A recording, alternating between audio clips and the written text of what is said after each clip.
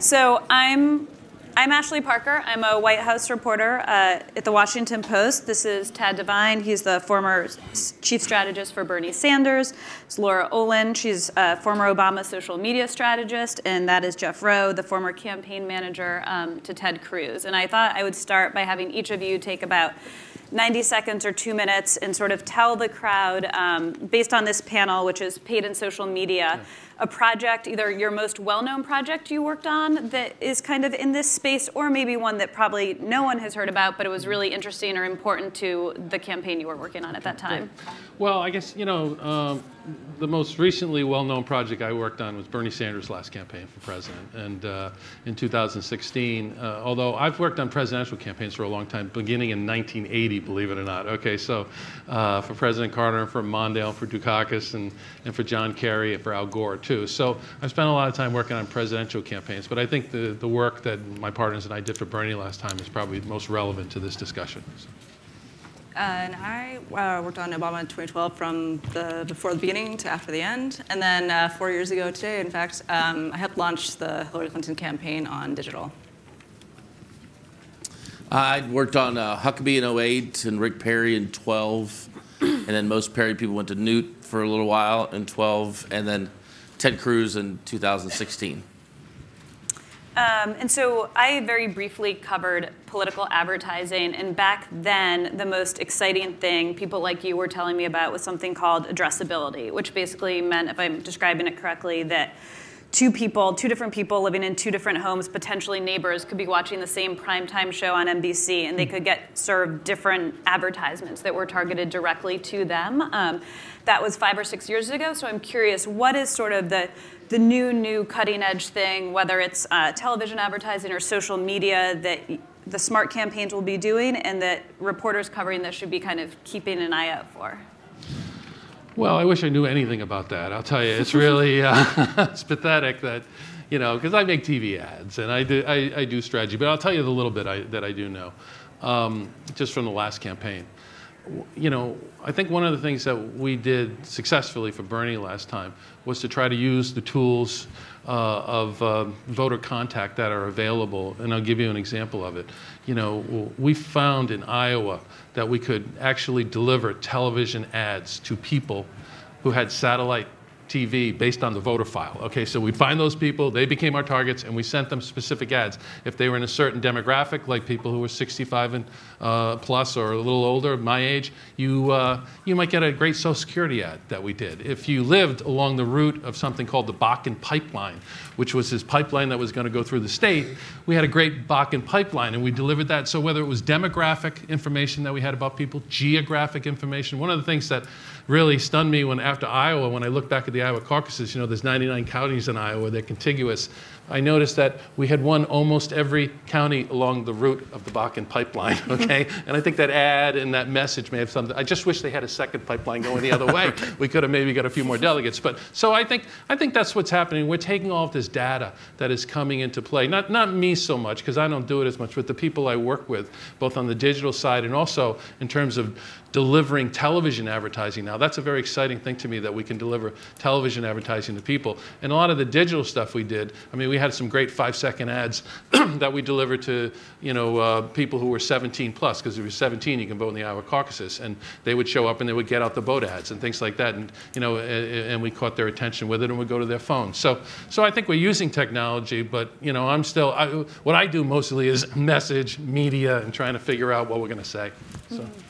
Um, I think on the Democratic side, uh, a lot of the spaces that a lot of our target voters are, are spending their time online aren't actually monetized yet. Like there are, not ads on, you know, uh, a lot of the gaming spaces um, and some of the smaller social networks that people are creating on their own, like you know, Discord instances and, and stuff like that. So it's, it's going to be an interesting challenge for all these candidates to, to figure out how to get into those spaces and interact with people authentically and um, make an effective case for their candidacy.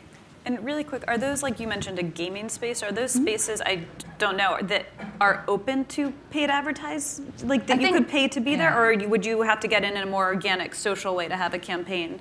give a message there? Yeah, I think some of them are do have paid uh, options like Twitch. Um, I'm not actually sure what what the options are for Fortnite. But um, yeah, there's this, it's the wild, wild west right now. So I think, um, yeah, it, this cycle is really going to determine how people interact with, with those spaces. So uh, cable in the last month lost, I think it was 1.8 million subscribers. An additional 1.3 million people cut the cord to broadcast. And so the biggest evolution this year, which there's, it's an open market space right now. So going direct to, you know, Fortnite or whatever if you want to do some in-game programming. Um, that's that's kind of how it's done. But there's there's some markets that are being developed around in in uh, within apps, and it's called OTT. And OTT is essentially advertising for your smart TV. And so, regardless if you're on YouTube or Hulu or where you go, you can advertise to the IP address. Um, if you're watching your MLB app and you're watch your favorite team and they go to go to commercial break, your app actually goes dark. That will be over this year.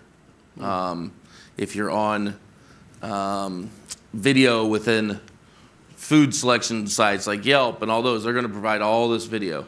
And so the, in the Republican side, a couple things are changing. One is it's a brand new way to communicate by IP address. That's a game change moment. Uh, two is the, the cable cutters and the, the cord cutters, as we call them. You can now track, you can now follow them by IP.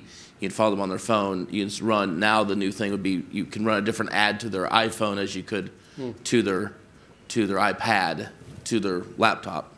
And so those things are going to be changing. The marketplace is also not established so there will be some rampant fraud. Um, at, at, as, as usual at the beginning of an industry, this is a very niche industry that's coming. And so, peop, so consultants, uh, people that sell this are going to lie about it for a while.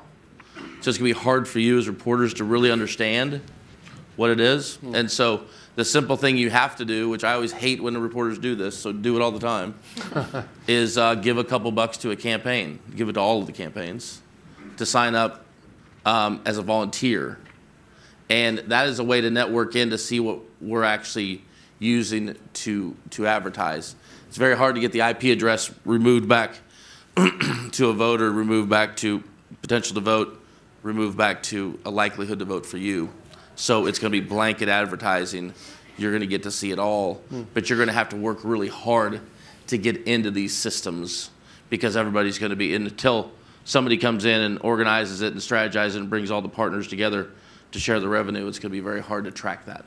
And speaking of rampant fraud, um, one of the challenges I always felt as a reporter trying to cover this was every now and then you would get lucky enough and the campaign would bring you into headquarters and show you the digital folks or the messaging folks and they'd peel back the curtain and allegedly show you the secret sauce and say, you know, this is our voter file, this is why we're targeting these voters, these students at Drake University have gotten all of these touches, they've been served 10 Facebook ads and they've, you know, engaged with them this percentage of times. And this has led to how many volunteers and how many signups. And I often felt beholden to sort of taking their word, and I never knew how to really fact check if they were giving me the right information, mm-hmm. um, if they were fudging the numbers they were giving me. So, what tips do you have for reporters who are coming in? If they hear something from a campaign, how can they fact check it? How can they gut check it? What are the other resources they should call around to? Is it other mm-hmm. campaigns? Are there mm-hmm. outside watchdog groups to say, hey, does this pass the smell test? Is it possible that mm-hmm. Bernie's campaign could have had this many mm-hmm. touches? What, what should they be thinking about? I think you should do what David Broder used to do: go up and knock on doors and talk to people and say, you know, and see if that's for real. I mean, I, I, think I think the big thing about the media. I mean, my side, what what I work on in the media is, I think you guys have a lot of access to information about media buys, and you know what where people are buying, how much money they're spending. You know, those services are now available. At least bigger media outlets have access to that, and you know that's a gold mine, okay? I mean, you know, in, in my view, in campaigns, you know, and I, I have a, you know, I, I make TV ads, so I, am sort of that's my I'm, that's my focus. But I think that the media buy is the objective manifestation of a campaign's intent. And you can find out where we're buying, how much money we're spending, you know, uh, look at it geographically. You could even look at it demographically, okay? And when somebody gives you, who's on your team, not my team, you know, your team, that data, then I think you go in and you ask guys like us the questions. Okay, you don't walk in there getting the information from them. You walk in there armed, knowing stuff that your people gave you, and ask the questions on I that think, basis. And I could be wrong. I think that is true on TV buys. There's Yeah. wonderful services like CMAG and Kantar where they Yeah. can tell you what media markets were bought, when the ad went up, how much money was put behind it. Um, it feels like the digital space is a lot more murky because the campaign may have a firm they give the money to, Yep. and then they they buy. And best I can tell, there's not a way to know how much Yeah, was actually Well, spent. On Facebook, you can. Yeah, uh, but on some of them. Yeah. So I guess my question is for, for that and to know how many of these as you were saying, were actually served to a cell phone or to an iPad. Um, what are sort of the, the smart questions ab- about that? Um, a couple of resources I would point people to are uh, ProPublica has started tracking um, basically how campaigns are targeting people and um, through uh, web browser extensions and stuff like that. So I would check out them. There's also a group out of London called Who Targets Me that's doing similar work around the world, but also around the 2020 elections here. Um, and then I think I think uh, Facebook is actually uh, finally bending to the pressure, and they're going to be doing some more um, transparency around this uh, this cycle because there's obviously a ton of concern about how funds are being uh, used uh, by various groups. So um, there will hopefully be some reporting from the platforms themselves about that stuff. So the, I would, top line, there were 247 working daily reporters working on the White House race in 2016. We called it, what we called was our baseball 500 list, which was those 247 people plus about the top 100 donors in the country, and then the balance of the 500 were activists. We took the top 20 people in our campaign, and everybody got assigned a number of them to contact each and every week. And then we had our Saturday calls for the Sunday shows to make sure that we had our message at least in the somewhere in the brain stem of either a producer or the host of the Sunday shows. Um, so we are working you as hard as you're working us.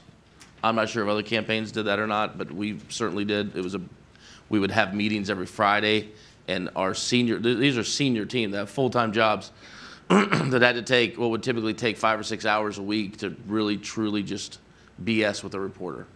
And so when because there's so many people writing stories, um, and because so many of them follow the candidate, which is the worst person to follow, um, we would pitch because there's not enough content. If your if your candidate's doing a good job, they say the same thing every day, so there's not enough con- enough content. So we would pitch a process story once every week, and that process story is what you I think you're talking about, which is when we essentially feed you as much bullshit as you'll swallow. and um, so there's a couple things when you do that though, and the smart reporters, which which there's one in the green room, so I don't know if he's after us or before us, but Sasha doesn't accept much bullshit on the sandwich.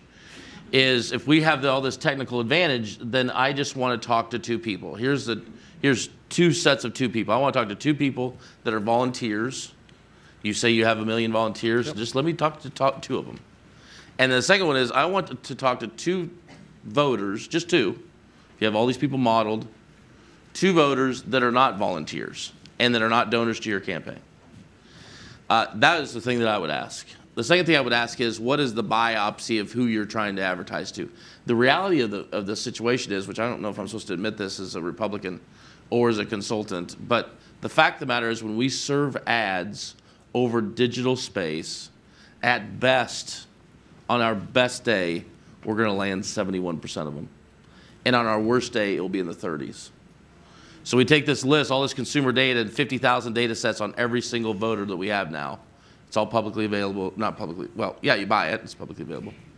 Um, then we lay in the, the, the um, political data that only political parties can get, so that's a little bit of stuff that you can't get. But, and then we go out and make about 20,000 po- phone calls per state to pull these people into a model. And these are the Cruz voters and Trump voters and Rubio voters and Ben Carson voters and whatnot. And their likelihood to vote for each. When you're covering a Democrat primary, they're going to say their likelihood to vote for everybody. But somebody made Mayor Pete go from 1% to 9%. So if they're pitching how they're blow, how they're blowing their team out and they're hiring all these people, don't follow stats on on hmm. staff hires. It's it's it's almost in, inverted on hmm. on the application. That will tell you maybe how much money they have, but really bad campaigns hire a lot of staff too early. The day that Rick Perry had the terrible story that he lost seven staff, and it took him down to three staff in Iowa. Ted Cruz had one paid staff. So just, you know, a poor application of po- politics doesn't really lead you to how people are targeting. But to wrap it, what I would say is try and talk to real people. Don't follow the candidate all the time. That's rarely where the news is made. Most people in the campaign are probably assigned to talk to you. And so find out who that is. It might not be the campaign manager, it might not be somebody, the senior strategist that you want to talk to, but we're the worst ones to talk to because we're the best at feeding it. And if you're an embed, build a relationship with somebody that's on this in the senior staff level, but that that that um, that will be more candid with you and share more information. And the way to do that, it ought to be like a reporter's bill of rights. Don't tweet. Stop tweeting because it's like a truth serum. And so if you're covering, i I'm sure there are Republican reporters. Um, I've not, don't think I've met any, but I think there are some. um, if, if a Republican reporter is tweeting ever and retweeting all the bad stories about a Democrat candidate, you're probably less inclined to talk to them. And so if, when you're on the trail, don't expose yourself. Don't stay past midnight. Nothing good happens. Your mother was right. and build a resource in the campaign that will last the length of the campaign. And don't shoot too high. Don't think that the campaign manager is the only person to talk to. Yeah. And, and speak, I mean, I think the baseball 500 list that you were talking about is fascinating because this is about how campaigns are targeting and trying to influence voters, but there is also that element of trying to influence reporters to hmm. write the stories you want, to wave them off of the stories you don't want, to write the stories trashing your opponent that you do want. If you guys could just talk a little bit more about the ways in which your, your campaigns uh, or you personally have tried to influence mm-hmm. reporters and sort of what they should be mm-hmm. aware of. Mm-hmm. Well, you know, it's, funny when I hear Jeff talking about that. I realized Bernie, we did, you know, we were, we just, you know, we, we were just trying to get through the next day, right? You know, in 2016, 2015. But, but I felt, and it's probably one of the reasons I no longer work with him. I felt it was very important to speak to the press, okay? And and you know, and and I would do that by returning phone calls to people. And I found as the campaign started getting going, I had a lot of incoming, you know, and I would have to work day and night just to try to return everybody's phone calls. And and you know, and sort of my sort of technique on this is, you know, I feel like, okay, I've got some valuable information that if I, that some of which I can share, some of which I cannot share, you know, because if I share it, that's going to be a bad story for the campaign. So I don't want to really put that out. But, um, you know, I feel like I should be giving that information out systematically. And usually what I would do is, and sometimes we would do this in an organized way. We'd have a couple of your reporters come in and sit down with like Jeff Weaver and, the, and I, you know, the campaign manager. And we would say, okay, here's what we're going to do in the next two months, or here's why we're doing this, or here why, you know, and they'd write a story about it. And we thought that was really good. But most of the time, it would be that I would just call up people and, you know, or they'd call me and then I'd call them back and I, and, and I would explain what we're doing. And I always try to explain it in terms of a much bigger strategy you know that we do indeed have a strategy you know and that this strategy can result in victory and it, and a lot of times it depends on you know who you're working for. When you work for you know when i work for al gore who the incumbent vice president of the united states who was the front runner in a race the conversations are very different than when you work for a democratic socialist who's an independent running for the democratic nomination. You know you've got to you know with, with bernie in 2015 and 2016 the conversations for the most part were about you know, with people I've known in many cases for many years, we're like, "Are you kidding?" You know, that would be their question. This is a joke, right? You know, and and I, and, and my answer was no, it's not a joke, and here's why. And you know, and I would and, I, and when I when I told people I, we were going to try to raise 40 or 50 million dollars for New Hampshire, you know, way back in early 2015, they would, you know, they were incredulous and they weren't serious. But then when we began to do things, like for example, this is you know, and the end of the filing deadline, September 30th. 2015. You know, we had a reporter from the New York Times come to Burlington, sit with us during the day, watch as things came in. And, you know, lo and behold, turned out we raised $32 million, which was almost as much as Hillary Clinton's $36 million. So we would occasionally open things up and let them in. But mostly what I would do is, and I think it's really important, I would tell people what I knew, you know, as much as I could without you know going too far. I mean, I think you know different candidates are different. You know, Al Gore would very much want you to speak to the press as much as possible and to explain almost everything. But if you said the wrong thing, like you know, I remember I was at the vice president's house one Sunday morning, and George Stephanopoulos went on TV and he, he said, "Well, the Gore tracking polls say blah blah blah blah." And Gore like freaked out, you know, in front of like 20 people and everything. So the meeting was over. I said, "Excuse me, can I have a minute with you, Mr. Vice President?" I said, "Yeah." I said, I was the one who gave Stephanopoulos the numbers, okay? Why would you do that? Because they think you're going to lose. That's why. Because you're 10 points behind Bill Bradley in the Boston Globe poll. That's why. You know, and so so you have this back and forth dynamic sometimes within campaigns. Some, most of the time, you know, they want that flow of information, but when you give a little too much, you know, and that's why I sort of have a rule.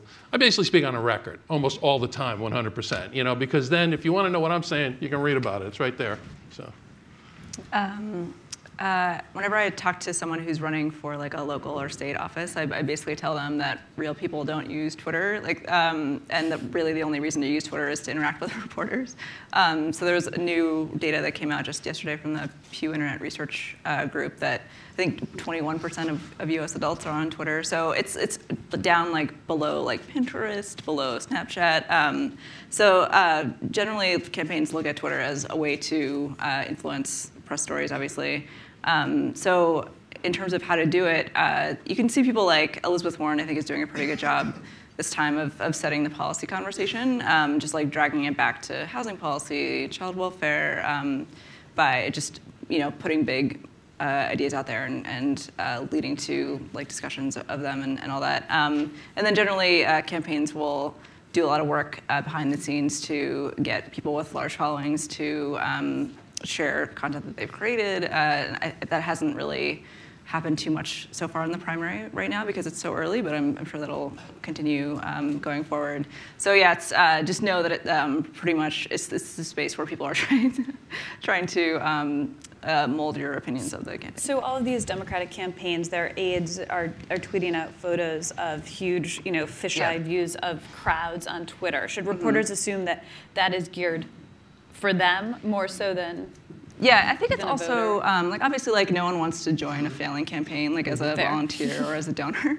So I think it's, it's it is for, for, for, reporters for sure, but it's also you know like especially on uh, in the era of small dollar grassroots fundraising, you know, like so much of what you're doing is telling people that like you're you're basically creating a club that you want people to join, and no one wants to join a failing club. So um, yeah, so crowd crowd shots are, are definitely important for the press, but for everyone else too, and. Um, yeah, and you, you see that with like the, the fundraising numbers that have come out and like the number of donors and, and, and all that as well. Um, and so I think, at least as of a, a, couple weeks ago, the Trump campaign, I believe, has spent more on Facebook advertising than the entire Democratic field um, combined. And I'm yeah. curious what, what you make of the reasons for that, and if you think that's a savvy investment for them, or if Democrats yeah. are missing an opportunity. I mean, uh, very unusually, the, the president launched his reelection campaign, I think the day of inauguration. I don't know if, if, anyone's done that before. So he's had two years to raise a bunch of money and um, uh, run Facebook uh, ads. So, um, uh, uh, so just two things I would say is one, like all Facebook ads and other social media ads are not the same. So they usually have one of three purposes. Um, uh, acquisition, which is just a fancy term for getting people on your email list. Uh, email is still by far the driver of small dollar donations and volunteer signups. Um, second is persuasion, like actually getting people to care about your candidate um, or not care about another candidate. And third is mobilization, like actually getting people to turn out for uh, uh, elections. So um, yeah, so it's, it's hard to it's hard to look at like just like giant numbers and and really assess from there like whether it's savvy strategy. Like I know people. Um, I'm not myself a paid social media expert, but like people in the space do find it really concerning that that uh, our field is so far behind. But um, it's obviously it's early. We're only like three or four months in on the Democratic side. So as fundraising picks up, like I'm, I'm sure we'll see that equalize a little bit. Uh, I think it's very smart. Uh, when these numbers are reported, and I think um, I'll say two things. I don't want to forget the second one. So the second one's going to be about how to work a campaign staffer. But the first one is when when they report the overall Facebook spend. Exactly right. There's acquisition cost, which it costs about. I mean, it, it depends on your day. I can only speak on the Republican side, but anything over two dollars is a little bit too much to spend for an email, and anything under a dollar is like you're not spending enough to get them you need to spend more and more and more and more. And so in feed Facebook advertising is becoming a very good place to get emails because you send people to a landing site, they have to sign up to get, you know, sign the, sign the um, pledge to build the wall or whatever it is. Uh, the other thing, though, that's happening for Republicans, and I can't speak to Democrats again, but is in Facebook feed fundraising, literal fundraising. And so that's moving. People are signing up on peer-to-peer uh, fundraising, text fundraising. This just started last cycle. It's we're now close, closing in on Democrats on being one click. And so when you see those numbers, and they always report it like Trump spent 189,000 this week, and Elizabeth Warren spent 77, and Castro spent 76 cents. That is a that that is a measurement, but it's really not the measurement. The measurement is how much are they of that are they spending on fundraising, acquisition, and how much are they spending on persuasion. And so that's what I want to say. Second thing is when you guys are covering, you've probably I mean I love embeds for a lot of reasons, and it sounds like the biopsy here is the and and I love the embeds. I don't know what party they belong to. And people that were embeds last cycle are now well known, you know, becoming more and more known. Um, people in politics work typically for 10 or 15 years to get to a situation where they have any sort of climate control on a presidential campaign. So a lot of times when they come in, when a reporter comes in to hear the theory of the case of how you're going to win, you, if you agreeing with the theory of the case, instead of making that first conversation a freaking argument, it's probably the best thing you can do. Because if there's a theory of the case of how a candidate has to, how a candidate can win, which we have to make every day, even the front runners have to make, but for sure with Cruz and certainly with Sanders, they have to make it. You make this case, and then the reporter wants to like argue with you about it, like how that's not right and that doesn't make any sense, and well, Rubio's people said this, and just give us the moment here, man. just let me tell you how when I wake up, I think that we're going to win, just like get it said. But also the listening to it, you know, there's a lot of people, reporters predominantly, that when you introduce yourself to them, they don't really, they're not thinking about their name, they're thinking about the question they're going to ask, so they forget your name at the end, or they'll forget your email that they just, that you just gave them, or they don't take down your cell phone. No, normally they get the cell phone. But when you follow up and you say, okay, the theory of the case for Ted Cruz that he's going to go coalesce evangelicals and Tea Party, and then he's going to get libertarians when Rand Paul drops out, and then he's going to take George Bush to the finals and beat him head to head, you know, in uh, in Wisconsin. You probably don't need to talk about Donald Trump at that time. See, well, how are you going to handle Trump? So there's a there's a story of the day in a presidential race that dominates the reporter's ability to work their to work a campaign. The story of the day that everybody's chasing. What are you? What's your reaction to Trump's tweet, or what's your reaction to what you know the stump that Beto stood on today? What's your reaction to this and that? Instead of using that time to develop it, I, I know that you have to burn and churn on a story every couple days, but using that time to follow their theory of the case and listening to it and then following up with them is it's it's rare. It'll set you apart And it'll also make you smarter when you actually see that their theory of the case is falling apart. Yeah. Um, and Laura, you had mentioned earlier about email is still king um, for a number of things, including raising money. And I'm curious why everyone thinks a, with sort of society's obsession, campaigns' obsession, and certainly news organizations' obsession with all other forms of social media, why email is still that main, most effective driver, and if there's any hope that this cycle that a campaign will crack that code to find another way to use other forms of social to kind of turn on that money spigot mm-hmm. for all of you. I mean, it's it's funny because on the Republican side, it, it does seem like um, all the reporting out of 2016, like. Uh, they claim to have raised a lot of money on Facebook, um, and Democrats raised some on Facebook, but um, it's just it's like a drop in the bucket compared to email. Still, mm-hmm. I think it might just be some structural things about. Um, you know, like the place that grassroots campaigns have in the history of democratic politics. Like it's, you know, we've been doing this for 15-ish years, um, and it's kind of how our people expect to give to a campaign and um, be a part of it. Um, so I think that very well might change. I think another challenge for Democrats that I don't see talked a lot about is that um, you know our our uh, target audiences are like young people, people of color, um, women, and um, all those people are scattered like all over the internet ecosystem. So um, you know, like we're not all on Facebook. Like you know, it's it's just it's a little bit of a more fractured environment for us to figure out how to reach people and and and the best way to do that. So um, yeah, I'm actually it's funny because you know I've been doing this for probably about 15 years now, and like you know, every two years, everyone's like, email's gonna die this year, and it just never happens. And it, like, Yeah. people who actually do this for a living are as astounded as, as anyone else that it that remains true. I think one thing that also could be useful for you all to look out for is. Um, uh, back in 2012, um, we had about a million people on our SMS list and had some luck in raising money um, by through one-click donation technology. And um, 2016, uh, people people seemed to use um, texting mostly for like volunteer coordination, which I think was pretty useful. But I'm really curious to see whether um, people are going to really use text as a, a major fundraising driver because it's kind of an unexplored territory, and I think there's a lot of potential there. Um, and you mentioned this brings me to another question about sort of the Democratic voters are scattered, scattered all across the internet. I'm curious in terms of, you know, I was, I was talking to some campaign people and they were saying like one of their, for the Trump campaign, one of their key voters is sort of like a low propensity voter who has maybe only voted once in the past four years and they're not a Democrat or a Republican voter, they're, they're a Trump voter. And that's who they're trying to target. And mm. that's a very different profile than a mm-hmm. coalition a Democratic campaign is trying to build. And I'm curious when it comes to reaching these different voters? Are there places where it makes more sense and where reporters should be looking for Democratic campaigns to be playing in a space and where it makes more sense where a Republican campaign might have better luck reaching reaching their sort of core audience? Yeah, I can take it. Um, what, an incumbent president just has a built-in set of advantages that, that, that a Democrat who wins, assumingly somewhere in March, April, or May of next year, would have. And the fundamental advantage is, is a ground game mm-hmm.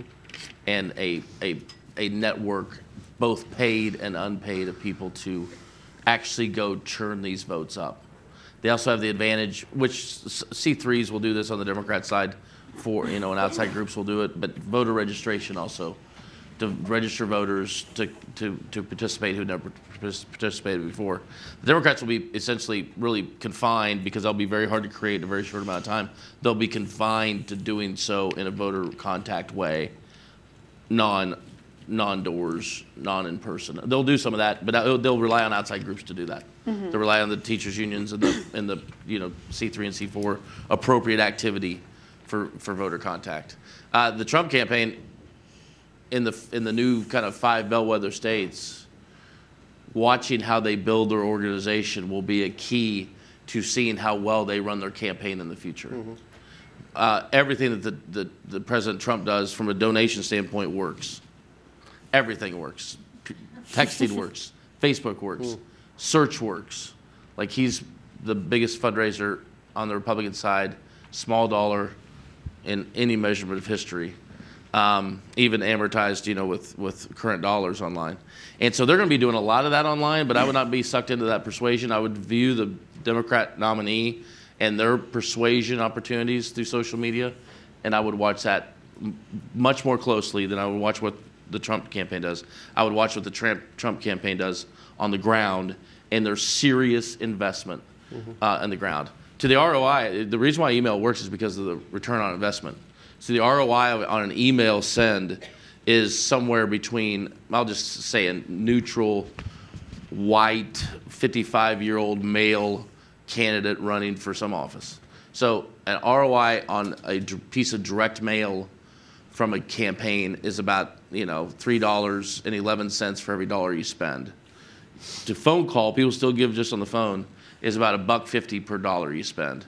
An email that you send is between seven and nine dollars for every dollar that you spend. And until that ROI comes down, there are some people that only go, give in the mail. Unfortunately, There are some that only give on the phone. Unfortunately, but until that ROI comes down, I don't think I think we will be lazy enough to not try anything else. Hmm. is probably why the innovation is not gonna not gonna catch up to anybody.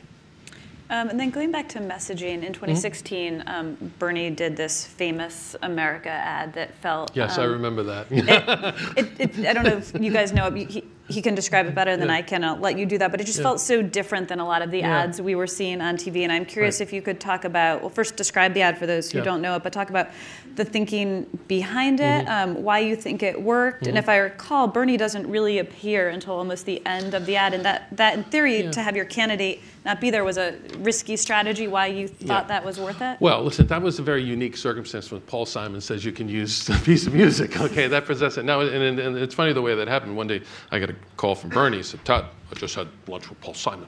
He wants us to use one of his one of his songs. I said, great, you know, fantastic.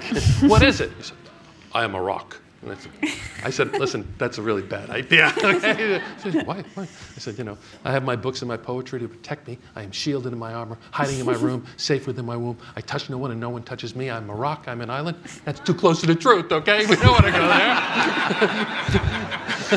but I did at least, well, you know, maybe this song. And, you know, we were batting things around, my partners and I. And, you know, we were talking about different songs that we might use. And actually, one of my partners' wife, Margie Omero is a pollster, and she had suggested to Julian, well, you know, why don't you use America? And I was obsessed with this whole socialist thing, you know, like, well, you know, and I, I kind of really pushed him to give a speech at Georgetown about what democratic socialism meant. So I was like, America, what's better than America? We could, you know, so so I started making this ad, and uh, you know, and it's true, it didn't have a lot of Bernie, you know, but we had the soundtrack to, you know, America, and we laid it down, and we're putting images on it. We had a lot of images from the road because we had a crew following around. So I started making making the ad, making the ad, and it, you know, and everybody's liking it. You know, and then I, and then we did this great town hall meeting that we filmed, three cameras, lit it for five hours. It was beautiful. It was like Hollywood, right? And Bernie had this great thing about why don't you join our cause and things like that. So I had put that at the end, and I went to Vermont and showed it to Jane, his wife, and and, and Jeff Weaver too, and they and, and they both said, you know. I think it's better when Bernie's not in the ad, you know? Uh, uh, and, and, and, and, and, that's when I realized that ad was not about Bernie Sanders, it was about those people, you know? So, so I started putting the ad, basically it starts off in Iowa and, you know, goes along, and then it's all these scenes with people, and you see Bernie intermittently, he and Jane are in there a few times, and then at the end, I started getting, just put in these scenes of bigger and bigger and bigger and bigger crowds you know? And and i'll tell you by the time the campaign was over actually we it wasn't just me who made that my partners a lot of people worked together to make that we had 10 versions of that one ad okay? We had the iowa america we had a new hampshire america we had one out west. The last one i made i was i live on block island half of the year and I, I phoned it in but i had them you know because they were going to use it to introduce bernie at the convention and i had them put in a scene at the end where you know our, our slogan was you know a future to believe in and her slogan was stronger together. So i had the last scene a picture of bernie and hillary and it said stronger together to build a future to believe in okay? I was trying to it's like gunshot wedding kind of but i was you know was doing the best i could and you know and so i think that ad it did resonate powerfully you know and the new york times used it as an ad to lynn Vavreck, who is you know from ucla used it as a baseline against every Clinton and every uh, Trump ad, and it won every ad test. And I think the reason it resonated is because people are looking for, they, they want to be part of something bigger than themselves. They want to come together around something they can believe in, you know, and you know, they want uh, to be positive and forward looking.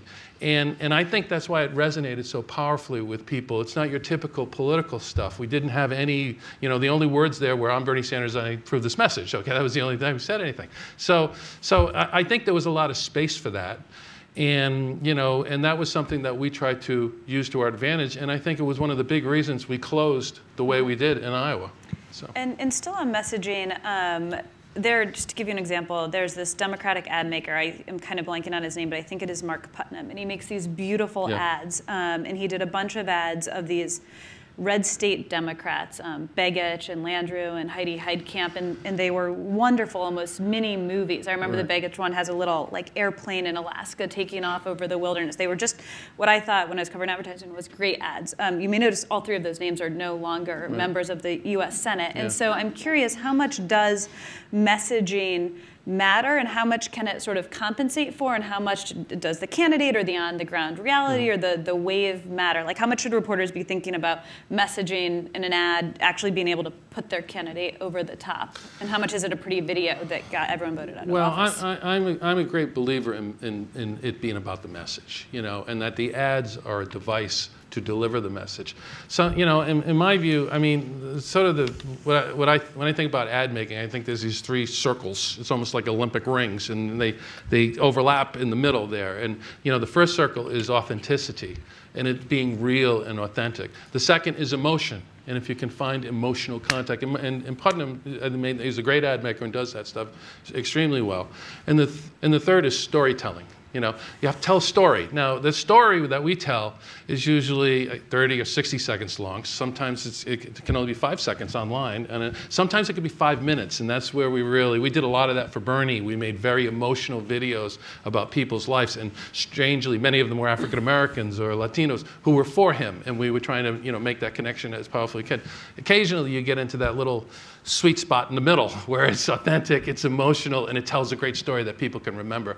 And, you know, but I think really it comes down to having the right message, you know, and, and, and, and I think, you know, if you've got the right message and you deliver that message powerfully to people, you can move them. Voters will be persuaded by it. So I spent a lot of time thinking about what the message is. And, and, and, and I think the, the visual elements of, of advertising are really, really important. I mean, that's what I do, and I'm always looking for powerful. Some, I did John Edwards' campaign for the United States Senate many years ago, and we had him standing in front of a water tower, you know, in front of Robbins. You know, the tower, tower was, and, we and that whole campaign was about keeping him in front of that water tower tower, physically, visually, but also metaphorically. We could never lose that little town that he grew up in and the values that he shared with the people of that state if we were going to convince them to get rid of an incumbent Republican in North Carolina. So, so you know, so you know, having the right message, and I believe there is a winning message out there in almost every campaign, and there are for Democratic challengers in this event.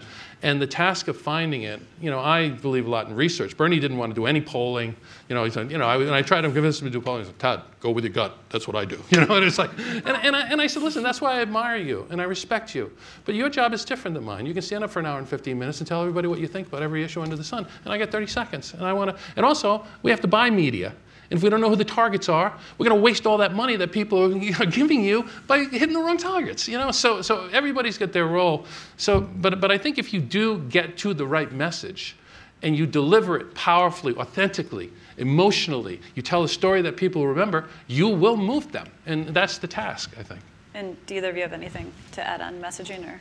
Uh, just real quick, I would say, um, you know, one of the disparities that we often see is, you know, what's been talked talked about in the media and on, on Twitter, where all of us live, versus uh, what candidates are actually uh, talking about on the trail and um, what, what people are bringing up at town halls. So there's like a huge um, difference there. Like, you know, in, in 2018 for the midterms, like, you know, people were talking about impeachment and blah, blah, blah, but like people on the trail just wanted to talk about healthcare. So um, don't get sucked into, uh, you know, like the just like the insider bullshit that someone many of us traffic in every day, um, because so, so, much of it is just like what are what do people actually bring up um, as they're interacting with these candidates.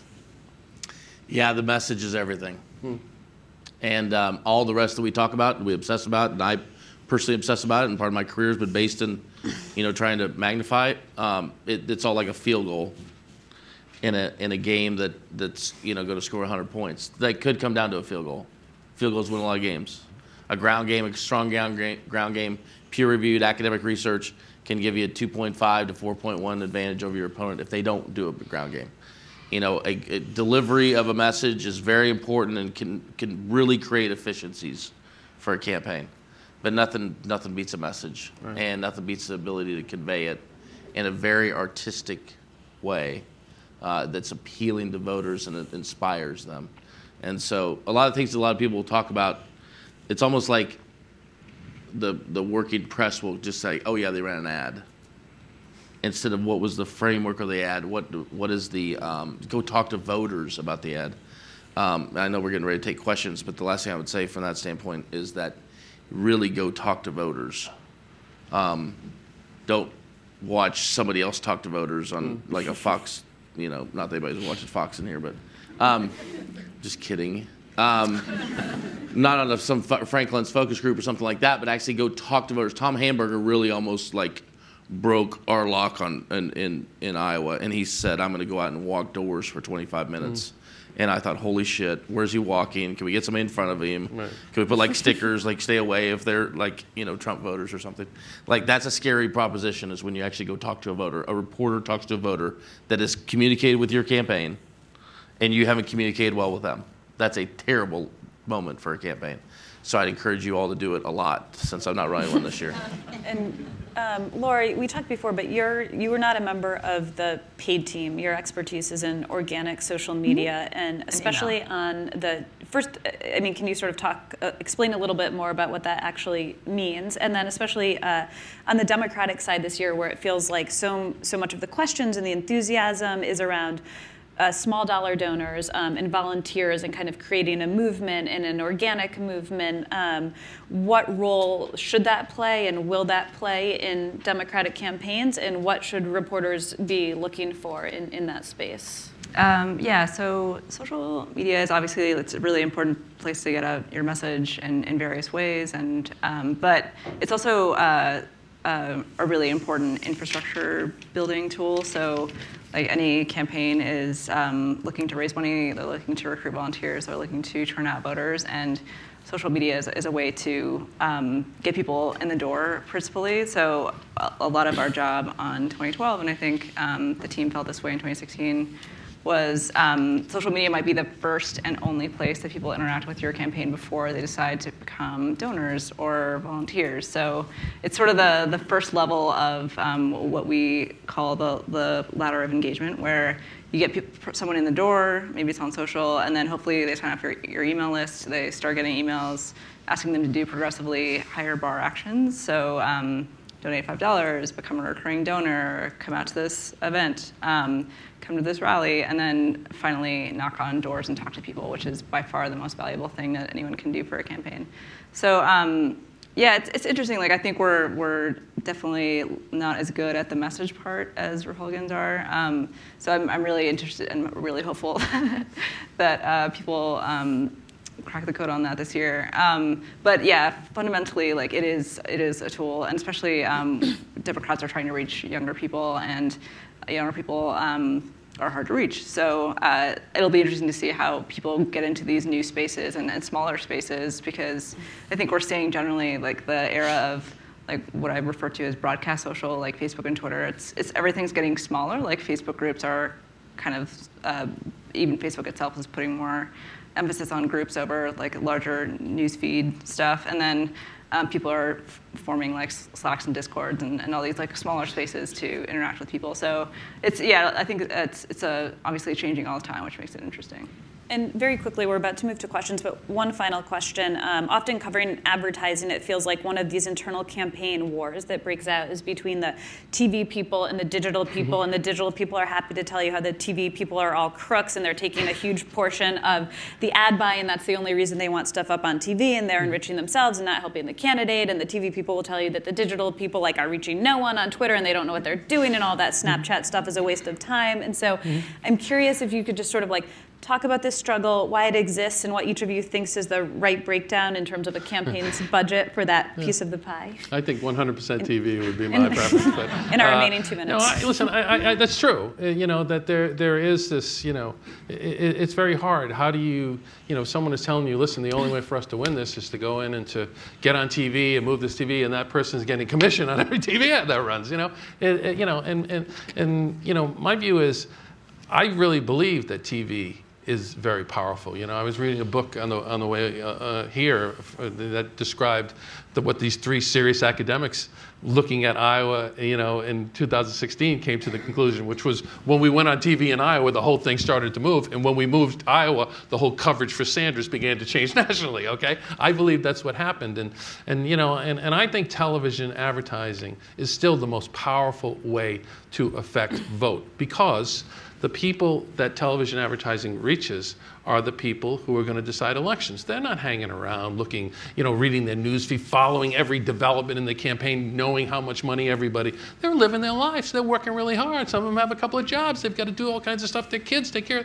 And then you can get to them in this place, in their home, where you can, if you get their interest and attention, you can persuade them.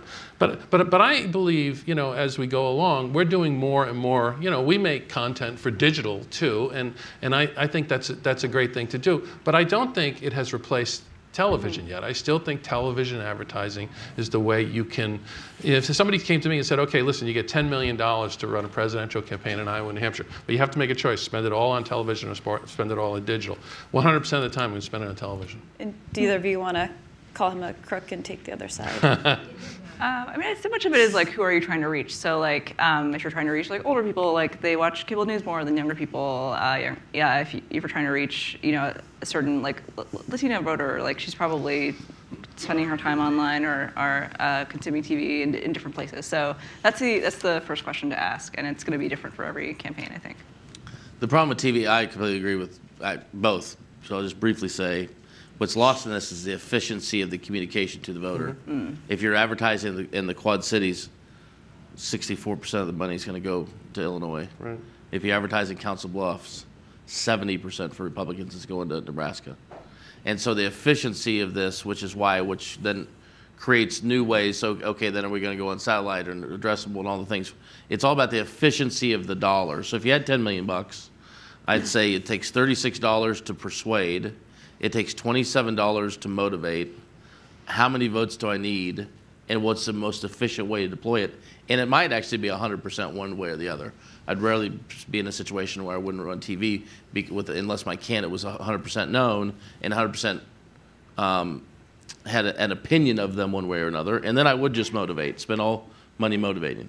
But in presidential campaigns, there's a lot of persuasion, big Senate races, um, big governor's races. It's persuasion, so TV is, the, is still king and will be foreseeably future, foreseeable future. Got it. Um, and if people have questions and want to line up there.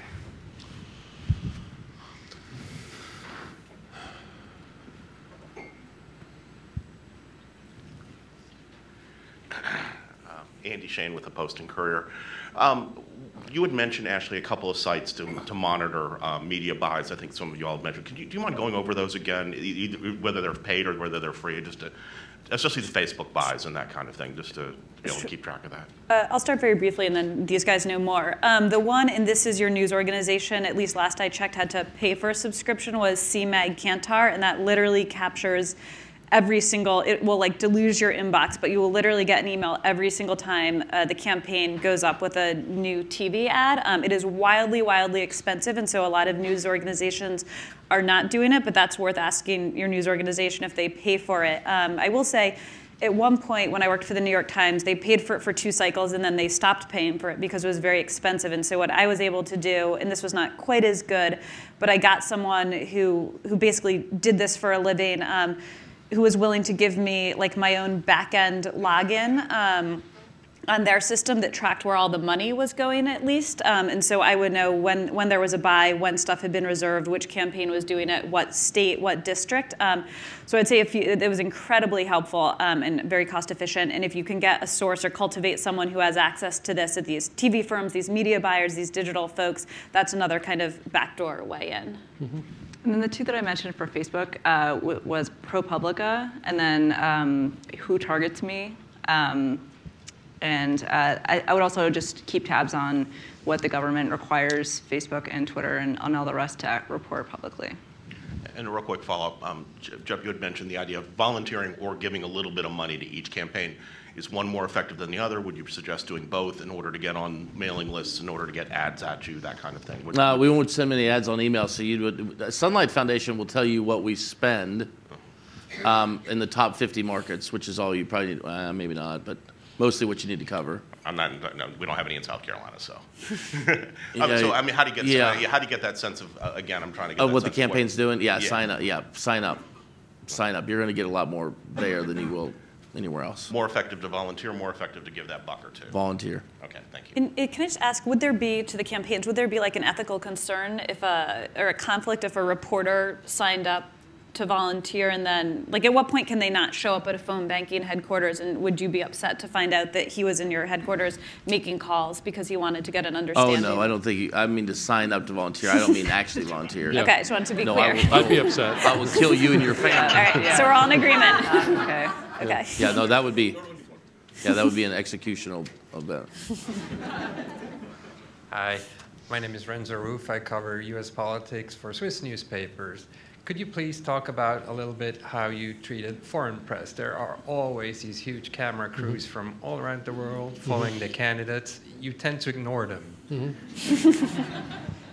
Well, the reason we ignore them is, you know, we don't. There's no voters, you know, that you're talking to. I mean, we want to talk to voters through the press. Now, having said that, I, you know, I think there are opportunities to have really good back and forth with foreign press. I'll give you a couple examples. Buttigieg, who's running, gave an interview in Norwegian, and it impressed the hell out of everybody in America. Okay, so so you know that's that's a unique opportunity. Secondly, substantively, that could be a thing. So, for example, if I were doing a presidential campaign right now, I might advise a candidate to sit down with someone from Europe and to discuss the threat America faces by having a president of the United States who believes NATO is not something that we should be giving, you know, a, a, part of like we used to be, or our relations with our closest allies are deteriorating. So that, you know, because that information is not necessarily directed towards your audience, it's going to come back to the voters who we're trying to influence here. So, so you know, I mean, the, the reason you don't get much time is there's so little time and there's so many people, you know, who have, are, you know, are covering the race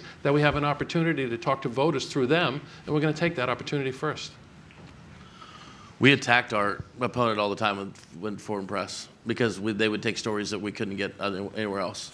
Now, we didn't allow our candidate to talk much because he necessarily wouldn't differentiate um, like what reporters he's talking to. But we attacked all the time in the press. So if you want an outlet, if you want to be that kind of stuff, you can ask the Guardian about that. Um, you, there is an opportunity to be. It has to be verified. And you have to do your work and all that type of stuff. But I'm just saying that we use it a lot to attack our opponents. Just a quick follow-up. The Democrats abroad primary didn't play any role in communication strategy? No. No, it didn't.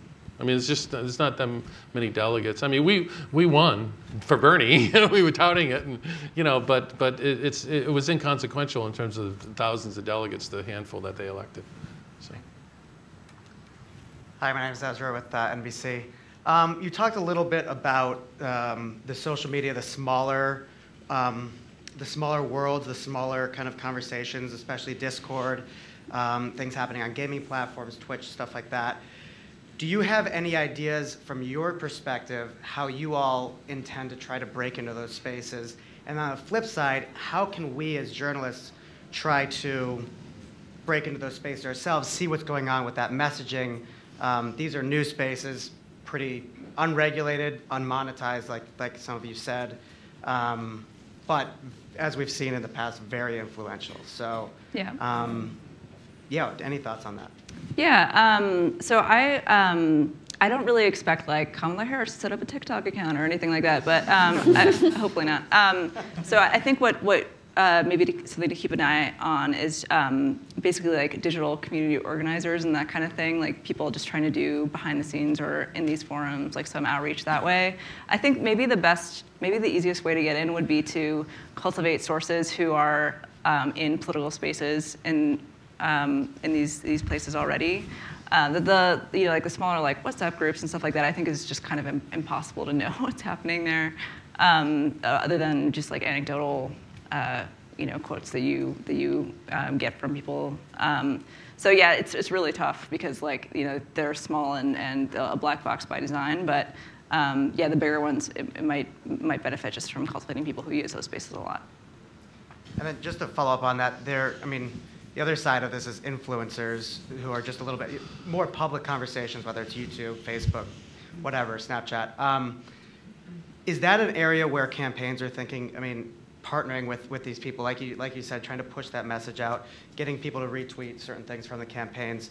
With the emergence of influencers, especially on, to, the, to the young demographic, mm-hmm. is that something that the campaigns are looking at, like partnering with people who have huge followings, doing guest appearances? I know we saw some of the stuff with like Between Two Ferns. All that, like, yeah, yeah, yeah. Like, there's been some of those moments, but is that going to be a major part of what we're seeing in the future. Yeah, I would expect that to continue. Like when YouTube was the place to be, uh, President Obama did a, ton of stuff with um, YouTube influencers, and I think we'll see more of it on Instagram uh, this time because um, it's basically like where younger people spend their time um, in, in, any large quantity, at least.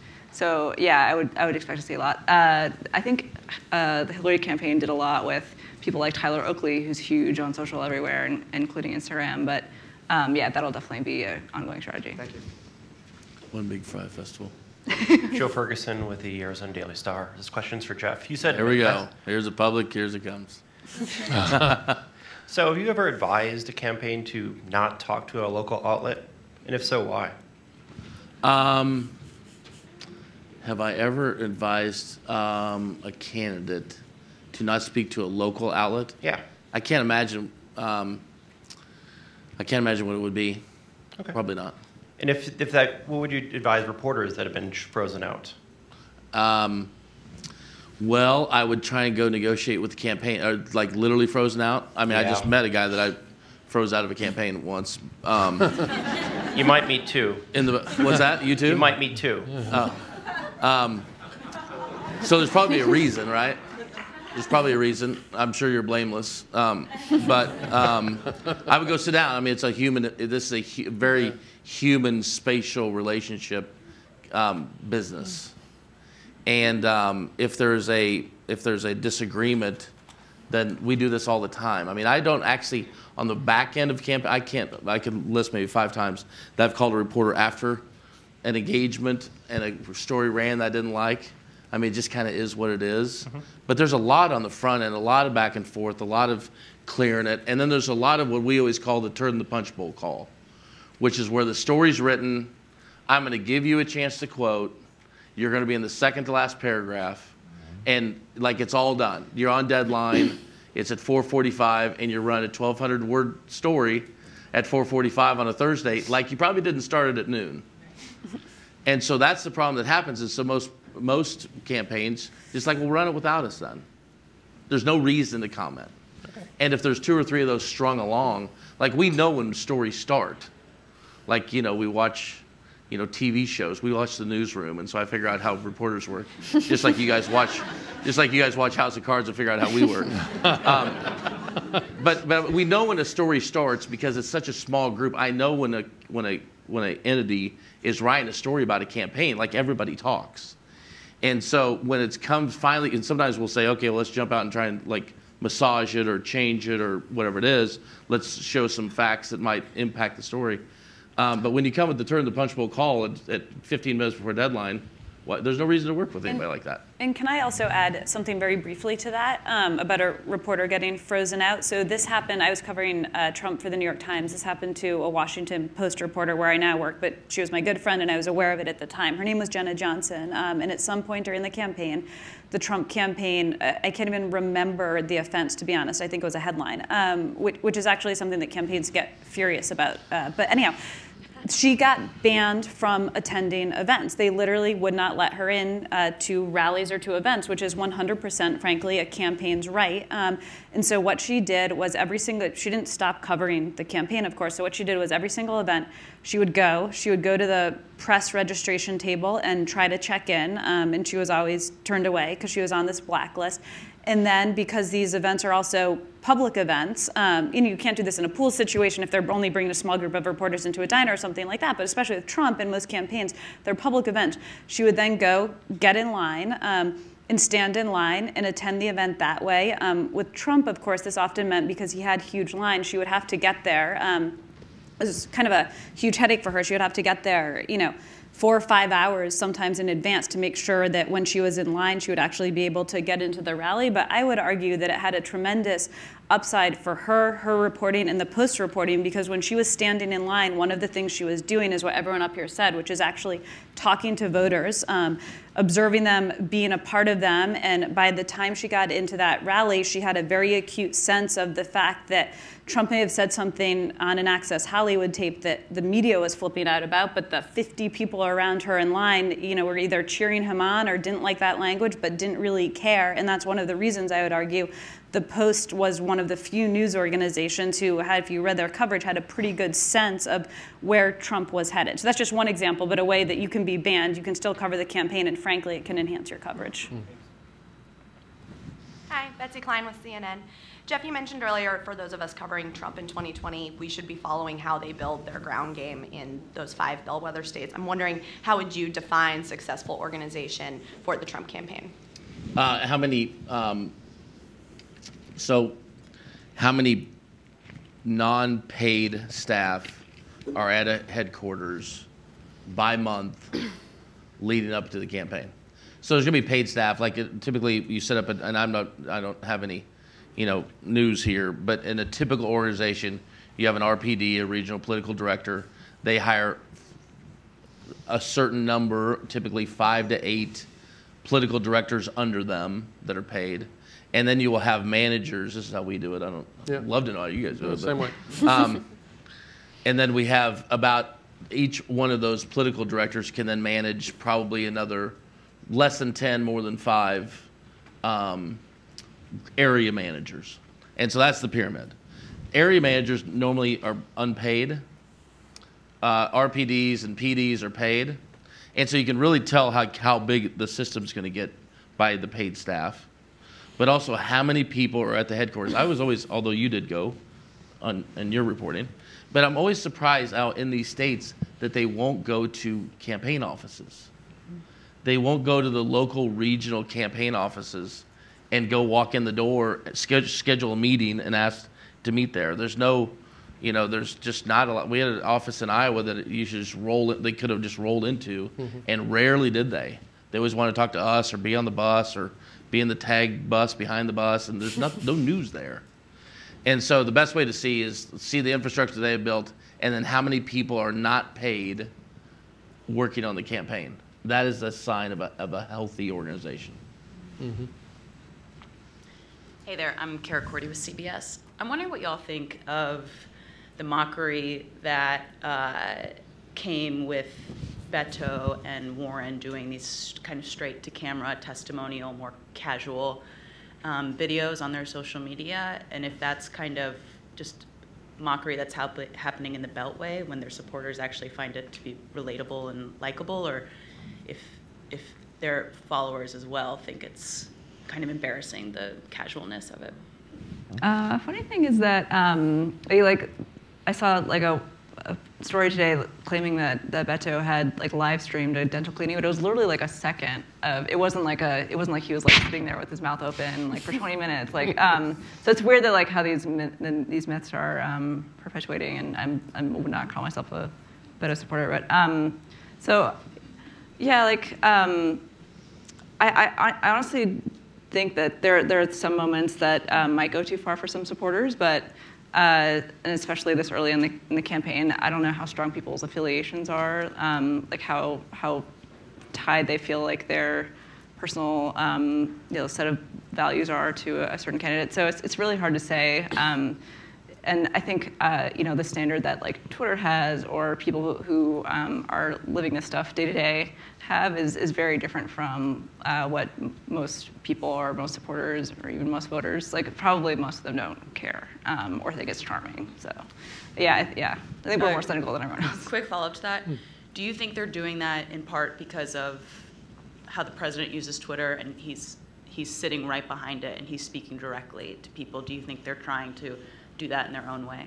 Yeah, I mean, like even before Trump, like you know, authenticity is like something that like oh, I think we all recognize is really important for a candidate to to be able to project. So um, yeah, and you know, with the prolifer- proliferation of ways to be authentic online, like I think we're going to see a lot of people try and fail, um, especially. Uh, you know, because the rules were not written around how to how to do it well. Um, but yeah, I think you know, Trump being really good at Twitter um, is probably spurring people on to, to figure out how to, to be more authentic. But it's, it's, been, a, it's been a challenge um, forever, I think. I would say just one thing about it is this bubble that we all operate in.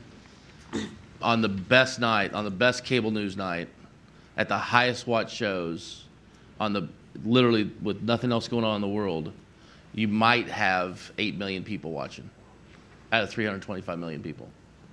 I mean, that's about like right now on the big three cable, it's 1.5 million people. And we watch this stuff and hang on these words, and it actually nobody else. I got the teeth cleaning thing. I mean, that was pretty funny, but it was after the campaign, so we didn't get the chance to mock it. we wanted to win because you know not win the presidency, but win, win the nomination because you want to beat the best, and then they become the best, and blah blah. But I mean, it's a this vacuum like just kind of stays there. It all happens in this perpetual loop, and it actually doesn't impact voters much outside of it. Big things will be identified early in this echo chamber, but the small, the the most heavily watched by the industry, Morning Joe and all that, like there's people like There's more people in this block than in the entire country watching Morning Joe. Like that's like true. I mean, it's like nuts. And so when we talk about that kind of stuff, I'd just be very careful not to follow the loop, right? The signal or the noise. I'd be careful not to follow. It will be an early identifier, and what Mika said and Joe says has impact because the people that do live on this block are very influential if you're watching them, because you start your day with that type of thing. But I just be careful about being in this loop of like what's really getting mocked because I there ain't a voter in Iowa that's seen that. Yeah. Not one. That's not a volunteer for a rival campaign. Thank you. Um, all right. Well, thank you three.